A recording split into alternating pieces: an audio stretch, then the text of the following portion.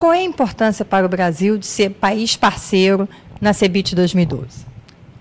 O Brasil atualmente está com uma imagem muito positiva no mundo. Né? O Brasil tem sido falado, comentado né, de, de, maneira muito positiva em diversos países do mundo.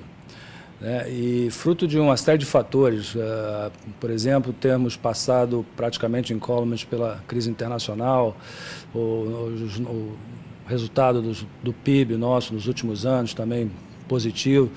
Então, esse, esse conjunto de fatores fez que o Brasil, é, nesse momento, é, esteja com uma imagem muito positiva.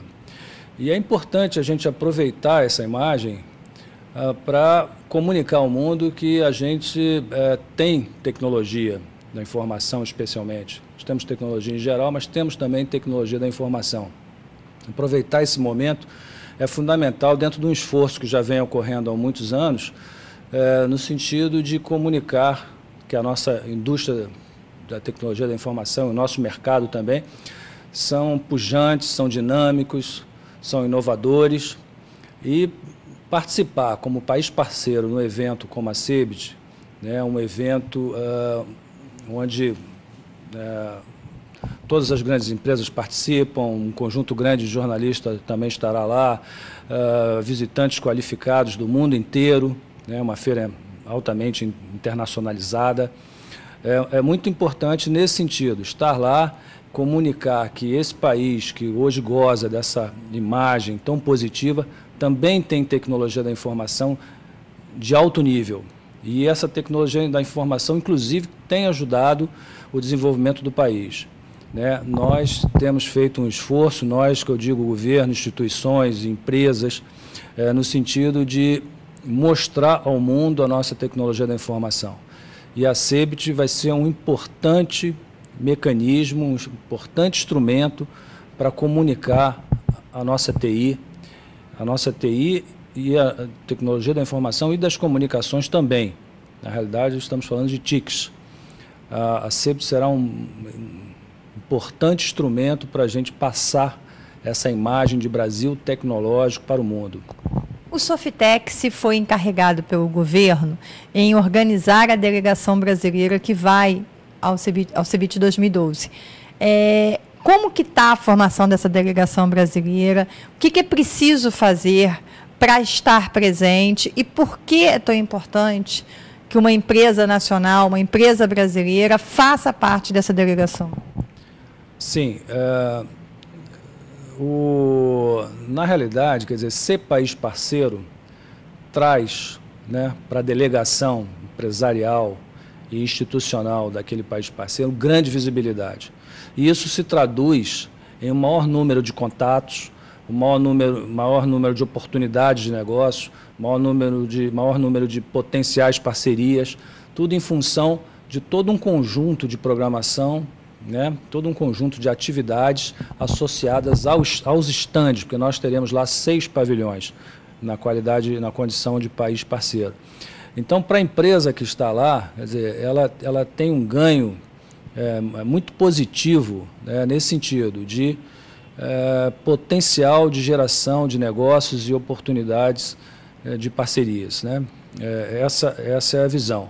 É, as empresas, para participar, é, elas têm que fazer um contato conosco né, no e-mail cebit2012.nac.softex.br, em que ela receberá todo o material orientativo de como participar da feira. Inovação hoje é prioridade no governo Dilma. TIC é muito, tem tudo a ver com inovação. O que, que a gente pode esperar desse tema no CEBIT 2012? É, tem um, um, dos maiores empresários brasileiros de tecnologia da informação, uma vez disse no evento que é, é, na inovação bate um coração de tecnologia da informação. O que ele quis dizer é que tecnologia da informação está diretamente ligada à inovação. Muita inovação pode ser feita usando tecnologia da informação. Né? É, e é isso que a gente vai, inclusive, comunicar lá. Né? A, a filosofia, a estratégia nossa, nos nossos pavilhões, é mostrar que nós temos tecnologia, de modo geral, e que a tecnologia da informação contribui muito para o desenvolvimento dessas tecnologias em geral.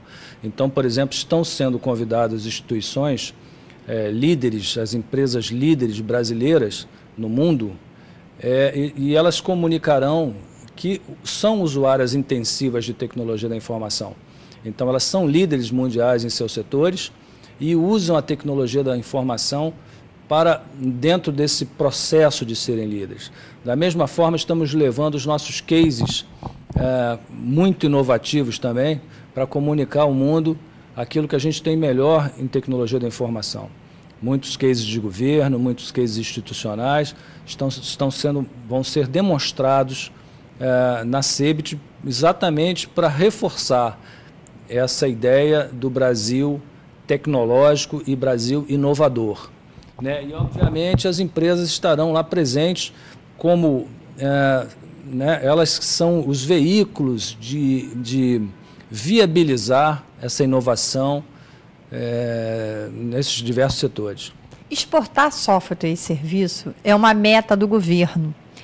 Tem sido uma meta do governo alavancar a exportação de software e serviço para que essa área possa contribuir com a balança, possa trazer dividendos. A Europa está em crise, o mundo está em crise. É, que papel na CEBIT 2012 as empresas que vão estar lá vão poder mostrar que o Brasil tem capacidade, que o Brasil é sério, que o Brasil tem condições de fazer um bom, um bom trabalho global de TIC? Sem dúvida. Né? Ah, primeiramente, é, é importante no momento de crise você se posicionar. Né? A gente sabe que a Europa está em crise, mas a Europa não vai ficar em crise eternamente. Né? Uh, as nossas exportações elas sofreram um, com a questão da crise mundial, mas elas já estão elas a gente percebe que já há uma recuperação, principalmente nos Estados Unidos, a demanda dos Estados Unidos por exportações já está retomando. Né? A feira, a, CEBIT é uma feira muito internacional. É, 20, cerca de 20% dos delegados, uh, das pessoas, dos participantes na CEBIT são internacionais. Né? Empresas do mundo todo lá estão expondo seus produtos e também buscando parcerias. Então, é, é fundamental que nesse momento a gente esteja procurando se posicionar né? E, e, a geração de negócios que a gente tem percebido justifica isso no, no sentido de retomar o crescimento das exportações nossas. Há uma mobilização do governo para a participação na CEBIT. Quatro ministérios estão envolvidos nesse processo. Quais são esses ministérios e como eles estão participando diretamente na organização da presença do Brasil no evento? É, o... hoje tem um comitê, um grupo de trabalho é, composto por quatro ministérios e mais algumas agências de governo. Então, nós temos o Ministério de Ciência, Tecnologia e Inovação, o Ministério das Relações Exteriores, o Ministério das Comunicações, o Ministério do Desenvolvimento, Indústria e Comércio. Além disso, a gente tem a Apex e o BNDES também fortemente envolvidos. Esse grupo faz a coordenação da participação brasileira. A Softex executa essa, essa participação através de um termo de parceria com o Ministério da Ciência, Tecnologia e Inovação. É, a gente tem notícia que a presidente Dilma confirmou a participação. Né, a, a, a presidente, o assunto foi tratado, temos notícia de que o assunto foi tratado com a presidente Dilma pela chanceler Angela Merkel e a presidente Dilma confirmou a participação e deverá estar lá como tradicionalmente fazem os chefes de Estado dos países parceiros. Então, a nossa presidente é, estará lá na, na, cerimônia de abertura, estará lá na abertura oficial da feira, né, o que traz para nós, para as empresas, para o setor, um incentivo é, muito grande. É, contarmos com a, com a chefe de, de governo do país lá nesse esforço, traz para nós um incentivo e uma, uma vontade, uma determinação muito forte de a gente ir buscar aquilo que estamos pretendendo lá. Para o mercado de software, você é diretor de mercado da Softex, qual é a importância de estar nesse evento e quais os frutos que ele pode vir a trazer para o mercado nacional aqui e lá fora? Eu acho que a gente pode olhar tanto no, no médio quanto no curto prazo.